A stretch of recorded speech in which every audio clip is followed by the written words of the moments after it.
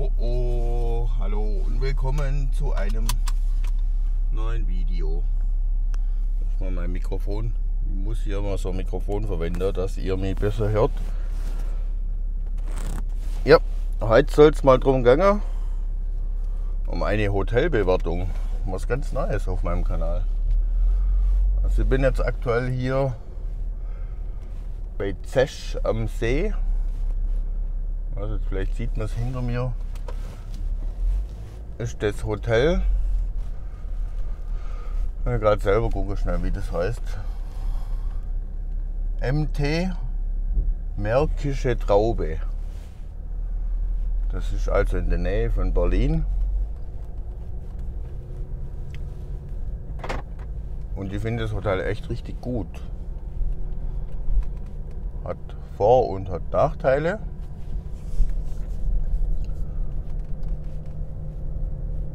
Aber die Vorteile überwiegen eigentlich. Also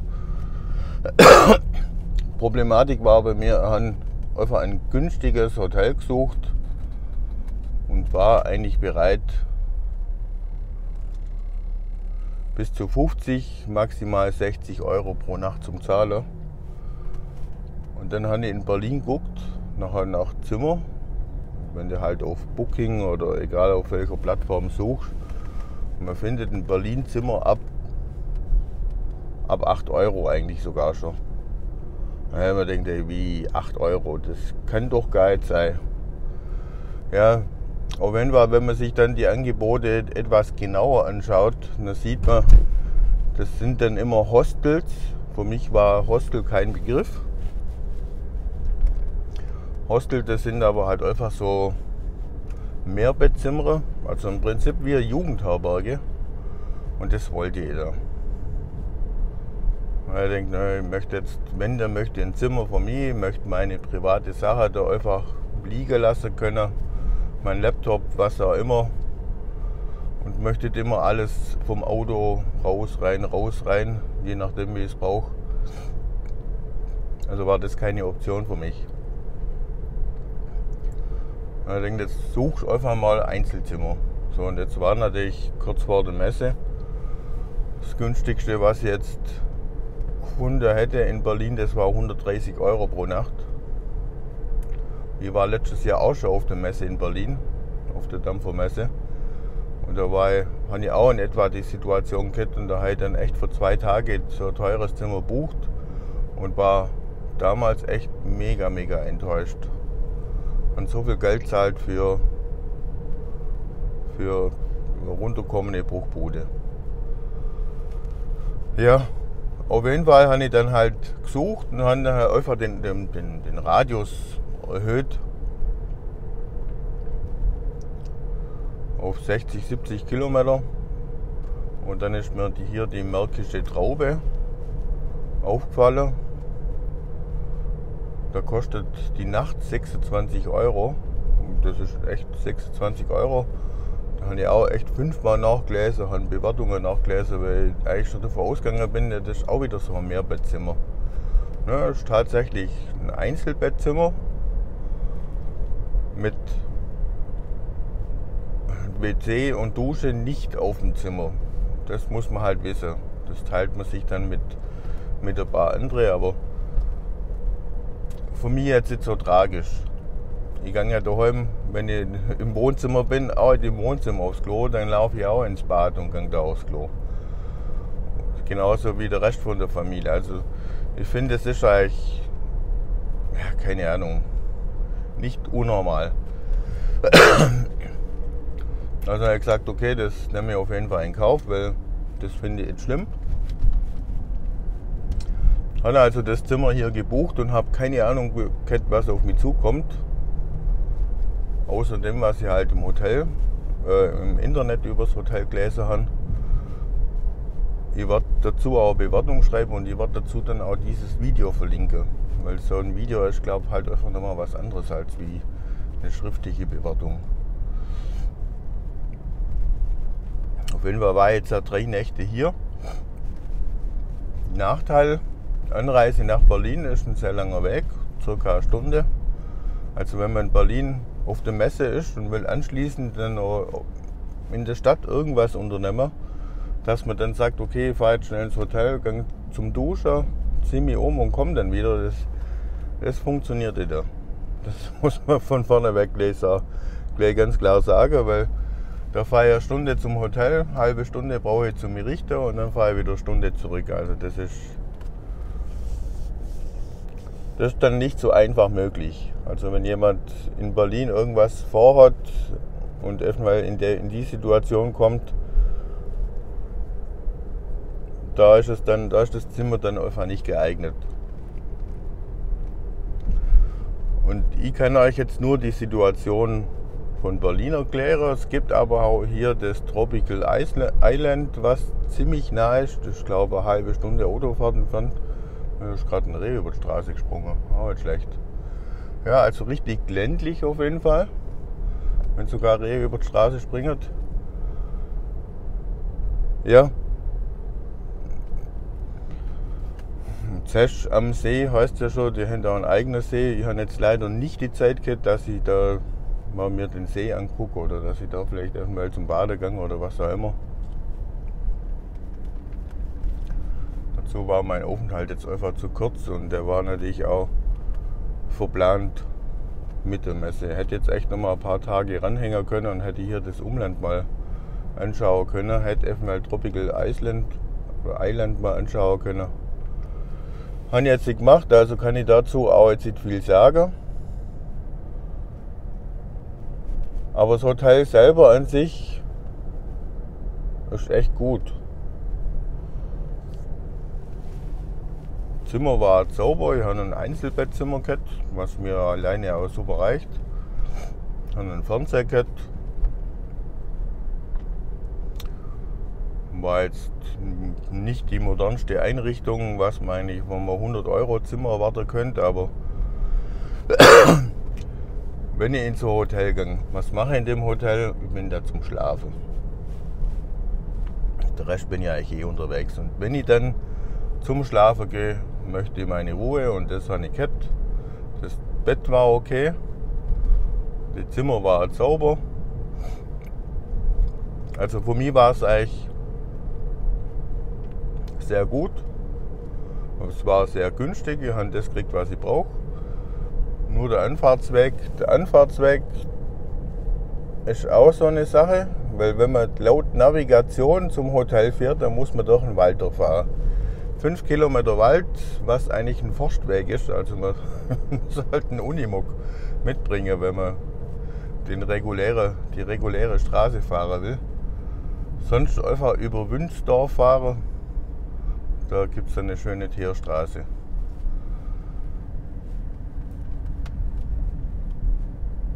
Als kleiner Tipp an die, wo da erstmal hin möchtet. Ja, also für 26 Euro habe ich definitiv mehr gekriegt, als was ich erwarten kann. Die Inhaber, ein Ehepaar, die betreiben das eigentlich komplett alleine und die haben richtig Spaß dabei. Das ist cool, also das ist richtig familiär. Aber irgendwie, dass man dabei Oma und Opa irgendwo gelandet ist. Ne? Die Inhaber sind ziemlich jung, also schätze mal Anfang 30 irgendwo. Ich finde es klasse. Also ich kann das Hotel definitiv weiterempfehlen. Von der Zimmer her. Von der Lage würde ich sagen, kann man es eigentlich auch weiterempfehlen, weil für, für das Geld, was sie letztendlich dann bezahlt haben, finde ich, ist es okay, dass man einfach den längeren Anfahrtsweg nach Berlin zum Beispiel in Kauf nimmt. Die, wo in Tropical Ice Island sind, da ist der Anfahrtsweg ein Bruchteil davon. Da ist das Hotel natürlich auch super geeignet. Also ich kann es auf jeden Fall empfehlen. Frühstück kann man separat dazu buchen. Das fand ich etwas teuer mit 9 Euro. Aber das muss letztendlich jeder selber entscheiden. Man kann es dazu buchen. Ich habe es jetzt einmal einfach zum Ausprobieren. Und am ersten Tag, wo ich auf die Messe gegangen bin, da hatte ich gedacht, komm jetzt durch den Ruhe frühstücken. Dass du dann nicht auf der Messe sofort Hunger kriegst und dann irgendwo so die teure, zu teuren Messenpreisen irgendwas essen musst. Wer aber nur Kaffee will oder so, da ist eine kleine Küche mit dabei. Da kann man sich selber einen Kaffee machen und das kostet nichts extra. Ich habe jetzt gerade vorher, bevor ich losgefahren bin, mir noch einen Kaffee gemacht, bin rausgeguckt im Garten, habe gemütlich meinen Kaffee getrunken, an meiner E-Zigarette ein paar Mal gezogen, also optimal. Weil zu Hause mache ich es eigentlich auch nicht anders. Ich tue so gut wie nie frühstücke. Ich trinke morgens einen Kaffee rauche meine Zigarette, meine E-Zigarette. Das ist es. Und das kann ich hier machen ohne Aufpreisen. Das ist echt gut. Also man hat die Auswahl, man kann sich einen Filterkaffee machen, Kaffeemaschine ist da, und ist da ein Wasserkocher da und löslicher Kaffee. Man muss halt danach sein Geschirr wieder selber abspülen und muss es dann wieder aufräumen. Also Finde ich ganz okay. Für das, dass ich kostenlos einen Kaffee kriege,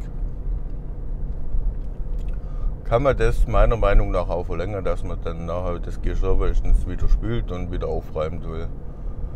Und die Frau hat mir auch gesagt, sie weiß, sie könnte wesentlich mehr für das Zimmer verlängern.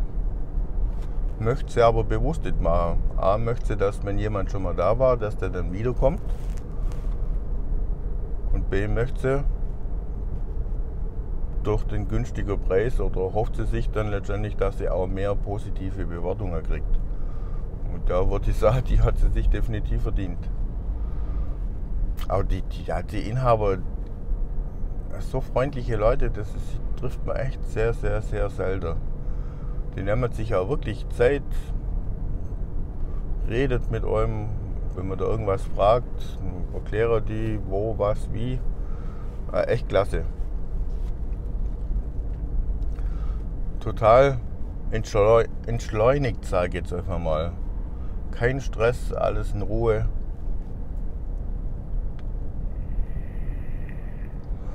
Also faktisch, wenn ich mal wieder irgendwie nach Berlin gehe, nächstes Jahr zur Messe vielleicht, dann bin ich wieder in diesem Hotel. Weil in Berlin wohnen muss ich ehrlich sagen, möchte ich eigentlich auch gar nicht, weil alleine schon die Luft. Ich habe hier einfach eine ganz andere, eine ganz andere Luft als wie, als wie in der Stadt drinnen.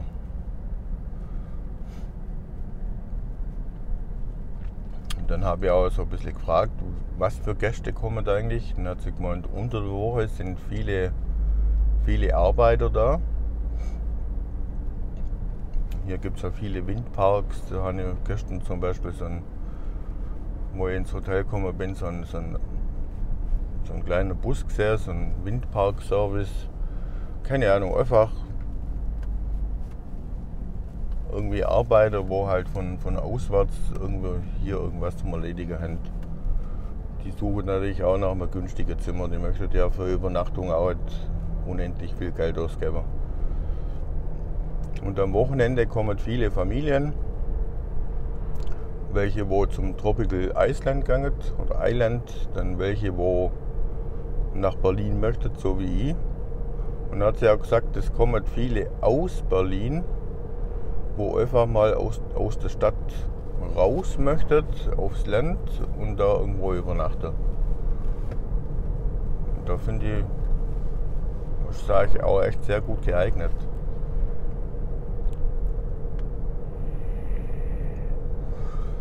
Das eins ist halt wichtig, was man beachten muss. Der Anfahrtweg zu dem Hotel nimmt den Weg außen rum. Weil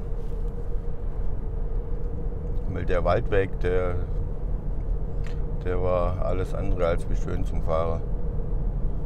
Kann man einmal machen, wenn man dann das Hotel dann gefunden hat, aber wenn man dann weiß, okay, bin angekommen, dann sucht man sich natürlich eine Alternative, wie man nicht den Schotterweg dann fahren muss. Die Frau hat zwar gemeint, es sei jetzt nach Berlin ein Umweg von 20 Kilometer, aber laut Navigation ist das ein Umweg von 5, 6 Kilometer. Also noch voll im Rahmen, würde ich sagen.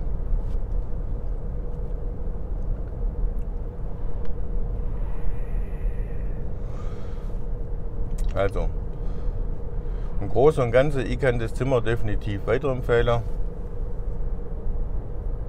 Super günstig. Die haben Einzelzimmer, Doppelbettzimmer, die haben auch Zimmer mit Bad und Dusche. Die sind dann etwas teurer. Mir war es nicht wichtig. Ich habe jetzt lieber ein bisschen Geld gespart und bin halt zum Flur raus in die Dusche rein, zum Flur raus aufs WC Zu Hause mache ich das auch nicht anders. Da habe ich das WC auch in meinem Zimmer. da, da halt, ja, keine Ahnung, das ist dann halt wie wenn man in einer Wohnung ist und man verlässt den Wohnraum, in dem das man halt dahin geht. War für mich ganz okay. Sehr gut fand ich, dass halt einfach, dass man sich selber einen Kaffee machen konnte.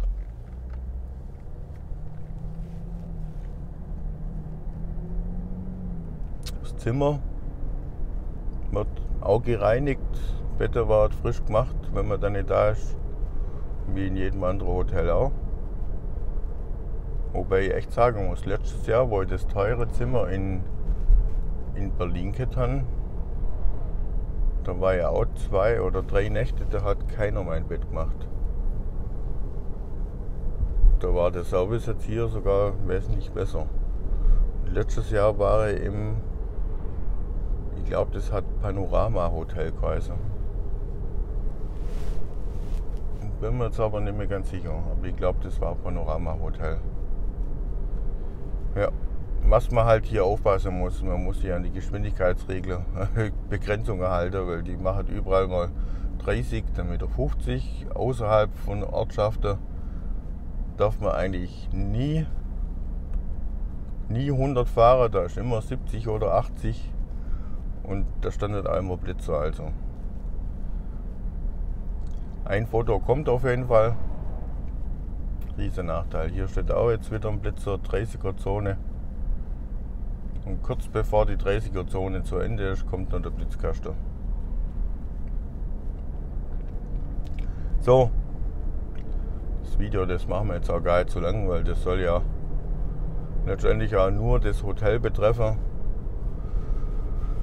und nicht meine Erfahrungen, was ich auf der Messe getan Das kommt dann immer separate Video. Von mir kriegt das Hotel auf jeden Fall einen Daumen nach oben. Ganz klar. Ich habe hier jetzt einen Preis zahlt, was jetzt in Berlin für so ein Hostel zahlt hat, mit, mit viele andere auf dem Zimmer. Ich habe es noch nie ausprobiert. Ich kann jetzt eigentlich weder sagen, dass es von Vorteil oder Nachteil wäre. Ich ich wollte es einfach nicht. Ich möchte ein Zimmer für mich, ich möchte meine Sache mit ins Zimmer nehmen und möchte es einfach offen liegen lassen können, ohne dass ich mir Gedanken machen muss, da kommt was weg.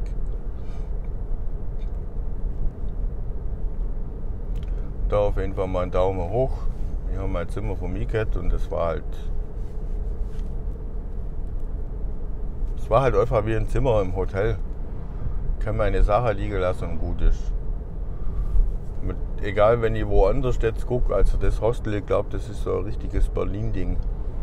Das habe ich woanders eigentlich so gut wie nirgendwo gefunden. Ja. Also wer was Günstiges zum Übernachten sucht und ein Auto dabei hat, Märkische Traube in Zesch am See kann ich auf jeden Fall empfehlen. Anfahrt nach Berlin ungefähr eine Stunde.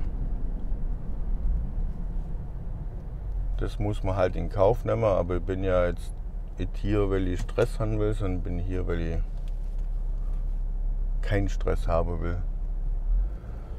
Ja, dann war es das auch mit dem Video jetzt. Wenn von euch, wo jetzt hier das Video angeschaut haben, schon mal einer in dem Hotel war, der soll mir mal bitte seine, seine Eindrücke mal versuchen in die Kommentare zu verfassen. Das wird mir jetzt echt interessieren, wie andere das Hotel empfunden haben. Von mir auf jeden Fall eine klare Empfehlung und ich komme nächstes Jahr wieder, aber vielleicht war vielleicht ist auch jemand einer negative Meinung drüber. Würde mich mal interessieren, aus welchen Gründen dann. Ich würde dann sagen, bis zum nächsten Video. Ciao, ciao.